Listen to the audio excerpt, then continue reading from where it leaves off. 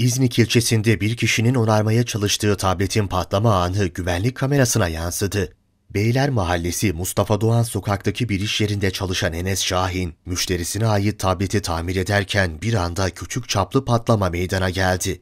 Tablet tamiri yaparken tabletin bataryası tablete çok yapıştığı için biraz ısı sıcaklık vermek istedik. Sıcaklık verince çünkü biraz daha yumuşuyor, daha rahat çıkıyor bataryalar. Bu esnada batarya muhtemelen tepkimeye giriyor.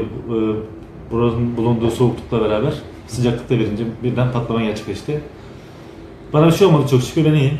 Sadece üzerim birazcık yandı. O kadar.